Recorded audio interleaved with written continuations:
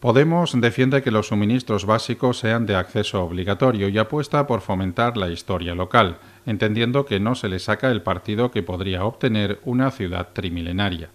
La formación morada quiere espacios deportivos accesibles y crear festivales que conecten las diferentes culturas que alberga la ciudad. Podemos desea fomentar el emprendimiento a través de cooperativas o un sistema de microcréditos y quiere que se fomente el empleo público con bolsas de empleo transparentes.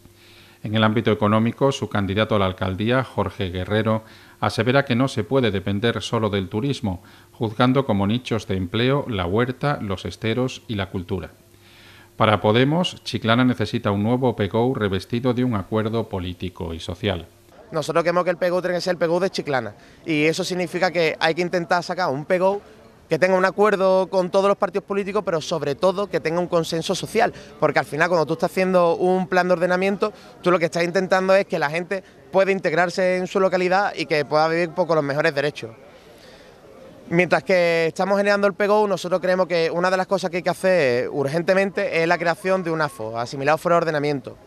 en el que a la gente que a día de hoy pues, no tiene acceso a cuestiones tan básicas como el agua, el alcantarillado, pues lo puedan tener. Y para eso pues, hay dos modelos perfectamente posibles para hacerlo, que es la conexión a los sistemas generales y por otra parte también pues, el autoabastecimiento a través de energías renovables y también nosotros nos comprometemos